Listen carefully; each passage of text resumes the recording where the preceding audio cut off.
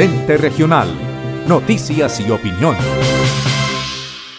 Saludo especial para ustedes, nuestros seguidores del ente regional. Aquí estamos de nuevo en San Vicente del Caguán. Oiga, uno de los sitios eh, que usted puede visitar si le encanta el tema de los casinos aquí en San Vicente del Caguán para cuando llegue de visita, cuando usted de pronto en este municipio, pues haciendo también su recorrido especial.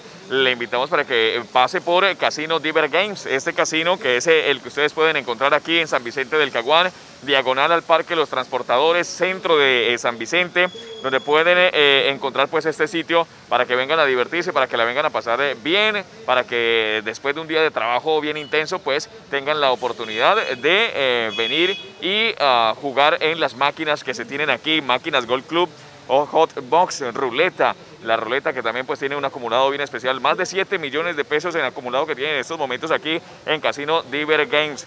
También, eh, eh, bueno, son diferentes eh, opciones que tienen ustedes para divertirse, para pasarla sabroso en este casino. El único que tiene San Vicente del Caguán y está central, está aquí al lado del parque Los Transportadores en la carrera sexta.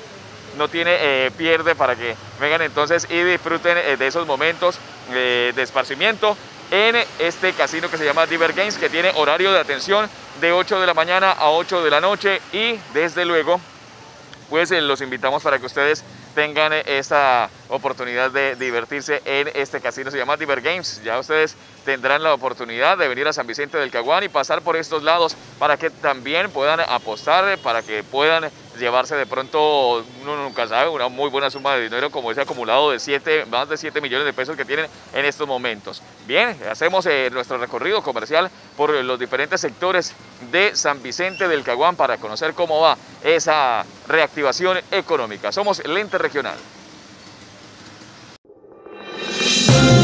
Lente Regional. Noticias y opinión.